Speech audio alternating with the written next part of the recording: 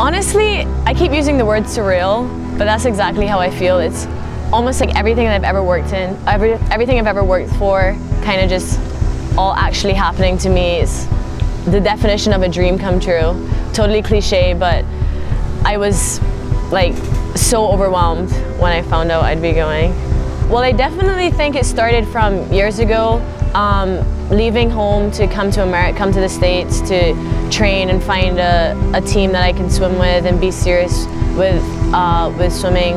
It was definitely a lot of sacrifices, uh, leaving a lot behind at home, leaving my friends at that age where everyone was partying and having fun and I was not going out because I had to wake up the next morning to go to practice or missing out on birthday parties or family birthdays and uh, family vacations just because I had to sacrifice staying around to train.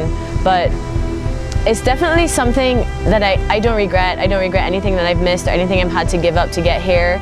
I've had fun while I was doing it, which was lucky for me. Um, my four years at FGCU have been great. I've been uh, under coaching staff have just been incredible to me. So it has been a lot of hard work training wise, but this, these group of girls here always found a way to make it fun. Leading up now is just a matter of just kind of training continuously, um, you know, eating the right things, doing the right things, a lot of rest.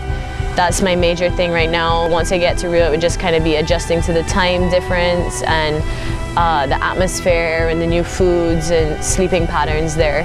My goals are definitely individual. I want to definitely make a best time this summer in Rio um, and improve my Barbados national record. That's definitely my major thing uh, continuing to make not only myself proud but everyone else that's watching. I'm not going to really know how that it's actually happening to me until I get there, until I'm like walking out for my event in front of like thousands of people. Um, but I'm definitely so, I'm so thrilled and honored to have this. It's like almost like there are no words kind of thing. Um, I definitely think it's gonna help me in the long run uh, race-wise. I definitely think, you know, I worked hard, I made it here, so I definitely want to perform. You know, I deserve to be here, I'm doing my best, so I definitely think it's going to help me with my results and give me that kind of adrenaline rush for my race and to compete and do the best that I can.